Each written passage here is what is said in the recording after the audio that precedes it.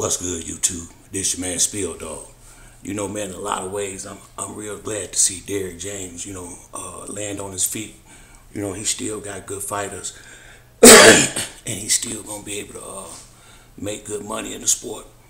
But boy, uh, coming off, I mean, what is he? He got fighter of the year. I mean, trainer of the year last year or year before last.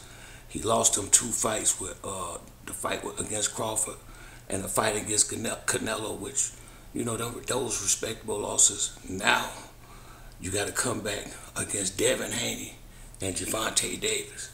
Shit, man, that's gonna be damn near four losses in a row. I hate to say it. Uh, now I think out of out of all of them, I don't. You know, it's hard to say. I I, I think I think Ryan Garcia got a better chance fighting Devin than uh, Frank do against Tank.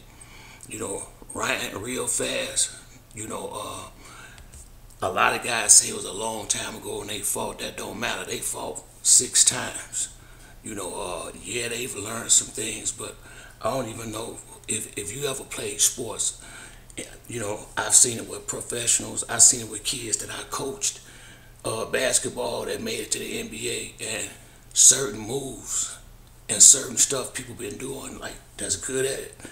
Uh, they've been doing that since they was 11, 12, 13 years old. A lot of them, uh, they still been fighting against the same level of competition, just at different ages. And it's gonna be a lot that as they get to the fight that I think they're gonna remember about one another. Uh, you know, not enough to, to that where you can just look for it, but there's gonna be some things that everybody do because they just comfortable with it, and that's how they learn to. Uh, it's gonna be some stuff you learned in the very beginning.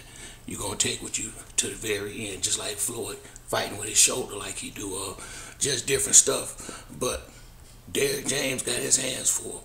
now, what I would say, I think I said it on another video uh, yesterday. Derrick James, I don't know what it is about him. All the guys that I've seen him train outside of Errol, once they come get with him, they start punching harder and knocking fighters out. That's been consistent in his uh since I've been watching him as a trainer. He got a lot to prove now. Uh, from what they saying, he the one kicked Errol out the gym, so he got a lot to prove. I mean, and you know, just like you know, everybody gave you props for getting uh, trainer of the year, but uh, you got to keep going. And now you done picked up these other fighters.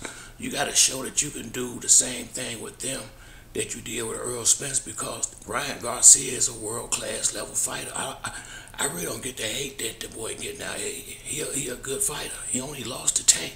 I mean, you know, uh, and when a guy's that good, you get the right man with him, anything can happen, especially when he got a money punch, that left hook. You know, Devin is a good boxer, but he don't have no money punch. Uh, Tank, his his left hook and his uppercuts. You know, uh, Crawford, that right hand, that, that right jab and his uppercuts. You know, most of the marquee fighters, they got a, they got, they got a, especially the ones that's knocking dudes out. They got a money punch in their arsenal, and Ryan Garcia definitely got a, a mean left hook on him. So that's gonna be something that Devin can't disregard at no point a time in the fight. And if Derrick James uh, put out the right fight plan and, and he worked with that right hand enough, it's gonna be a lot of it's gonna be opportunities for Ryan Garcia just because Devin gonna be so dead set on making sure he don't get hit with that left hook. Uh, so I think out of the out of the two, I would say Ryan got a better chance, in my opinion, than Frank do going up against Tank. Uh, that's gonna be a motherfucker right there. But you know, I am glad that Derrick James, although he ain't with Errol no more, I hate that happened. But who only knows what really happened? But I always did like Derrick James. I mean, I just felt like he he he he, he uh, I felt like he let Errol down in that fight with Bud because I, I just it just looked like he didn't send him in there prepared for Terence Crawford. It just seemed like he sent him in there to fight. I didn't see I just I didn't see a fight specific Terence Crawford fight plan, and I definitely didn't see one that would have had any uh, chance of working from the way Errol came out in the first couple of rounds. So I figured that come from him not spending enough time in that film because he trained all them fighters last year, and to my knowledge, he wasn't used to it. You know, uh, he only had Errol for the longest, and then he picked up Charlo, then he picked up Frank, and then now you got Ryan Garcia, AJ, and everybody got a, y'all had a big fight at the same time. Uh, you need to be either have a nice staff to help you, a nice team, or you definitely need to be, I feel like you need to be uh, experienced when you training that many dudes that's fighting on the level that these dudes fighting on. Uh, Cause you know, uh, can't you can't make no mistakes here. Losing these big fights, man. Look at Tim Tszyu. You can fall back into that bitch out there. All over.